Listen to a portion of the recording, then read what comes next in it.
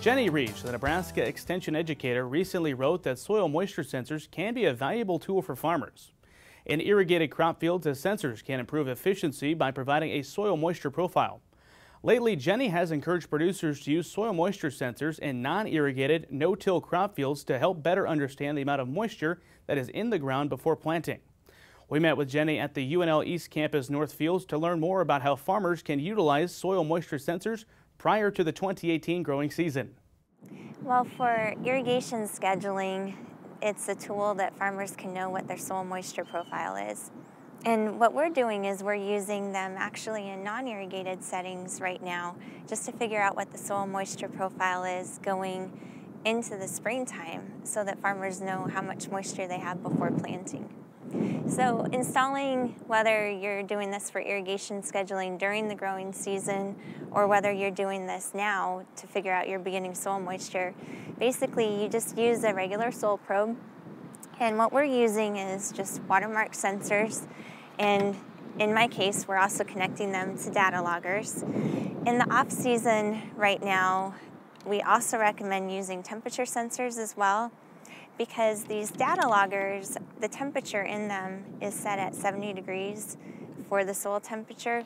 And we know we're far away from that right now in the 30s and 40s across the state. So the temperature sensor really is needed if they're going to be installing in the off season right now. According to Jenny, she has already installed soil moisture sensors in six non irrigated no till fields in Webster, Nuckolls, Thayer, and Clay counties. By installing these sensors, Jenny is able to determine the beginning soil moisture, which will help farmers make smart planting decisions. So we've installed them in Webster, Thayer, Nuckolls, and Clay counties.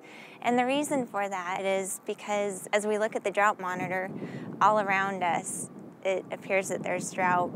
Nebraska looks pretty good overall, but in those counties that I'm serving, it's showing on the drought monitor that it's abnormally dry.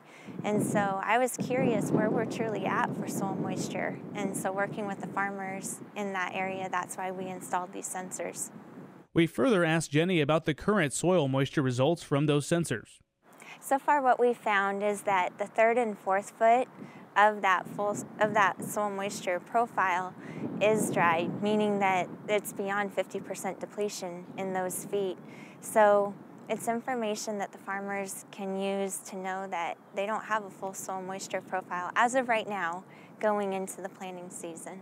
According to Jenny, past installments of soil moisture sensors prior to planting have helped farmers gather information about their field soil in order to make smart decisions, especially for non irrigated land.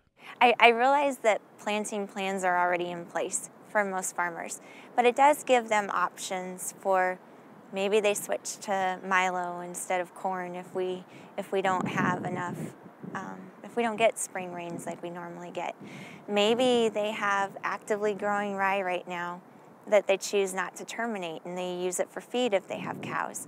Maybe instead of planting corn or soybeans, they plant feed because we know that there's drought all around us and we know that it's dry there in these counties, and so it may be just giving them options to consider. Again, we have to see what happens with moisture. Hopefully, we do get some rains in April and May, and yet there's other parts of the state that don't want as much rain right now, too. So we know it varies throughout the state.